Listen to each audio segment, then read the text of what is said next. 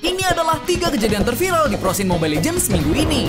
Yang pertama, Pak Ape sudah mengambil tindakan untuk menindak oknum penghilang akun sosial media anggota tim Ararki. Iya, pokoknya saya udah udah laporan polisi ya guys ya. Jadi ya nanti ditunggu aja perkembangannya, nanti saya update-update juga. Tapi intinya eh, jangan sampai ada oknum lagi yang hilang-hilangin gitu lah guys. Yang kedua, Coach Agi sudah siap jika tim EVOS memutuskan untuk mengeluarkan dirinya.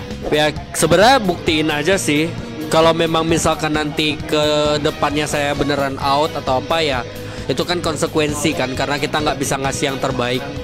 Yang ketiga, Coach Alter Ego beberkan rahasia di balik alasan Rek tidak pernah diturunkan kembali. Eh, ya alasannya lebih ke chemistry. Mungkin di beberapa interview sebelumnya dari anak-anak udah pernah disebutin juga.